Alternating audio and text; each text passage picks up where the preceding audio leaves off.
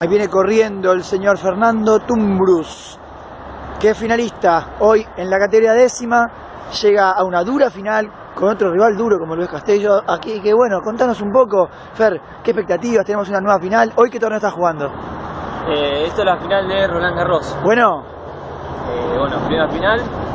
Y acá, este, un poco de nervios, pero tratando de tener la cabeza tranquila, es lo importante. Enfrento contra un duro rival, sé que, que juega bien, que ¿habías jugado ya con él? no, es primera vez. Upa.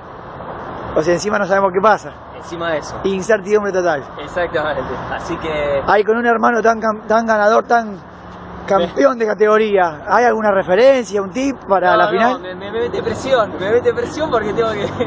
No, no, eh, obvio que siempre dándome consejos que, que, que suman, que me suman, ¿no? Para, para esta categoría y para seguir creciendo. Bueno, igual siempre dice lo mismo, igual como no lleva el mismo apellido, tranquilo. Puedo jugar tranquilo que no va a pasar vergüenza, dice. Eh, no te tienen fe, ¿por qué?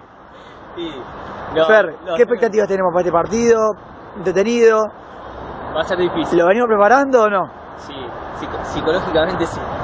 Psicológicamente sí. Eh, físicamente me vengo preparando toda la semana, eh, metiéndole duro, con profe y bueno, después hay que estar bien de la cabeza. A ver qué pasa. Bueno, a bien divertirse, de la cabeza tienen que salir las cosas. a pasarla bien y bueno, que sea con suerte, dale.